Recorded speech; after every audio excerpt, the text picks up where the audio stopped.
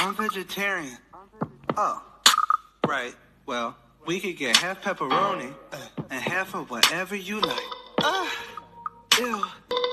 I can't have that shit in the same box. Uh, seriously?